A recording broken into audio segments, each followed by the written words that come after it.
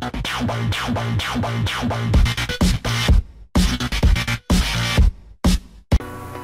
guys, Dan here from Device Enforcer and today I'll be doing a review of a fun little wallpaper generator for Android.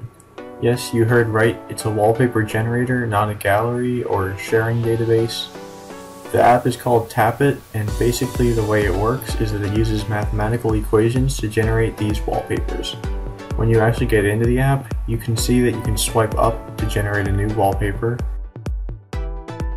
swipe right to switch the colors but keep the same pattern, Swipe left to keep the same colors and generate a new pattern, and swipe down to go back to your previous wallpapers.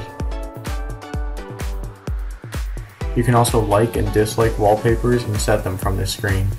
Liking and disliking the wallpapers slightly changes the algorithms that are used to generate wallpapers so you see more of things you like and less things you don't like. There's also a top bar in the app where you can pay to unlock the full version, save the wallpaper, and share it.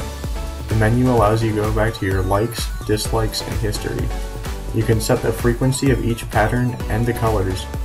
In the actual settings, you can enable or disable the wallpaper changing automatically, change how long it takes between changing the wallpaper automatically, and set the size of the image when you save it, and there's a few other things that you can tweak around. Basically, you can change everything about this app if you really want to.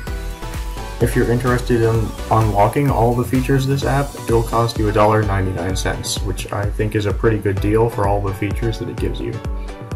Overall, this is a really good wallpaper app if you like material design.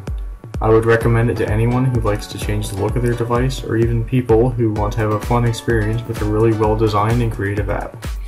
As always, thanks for watching and don't forget to like and subscribe. See you in the next video.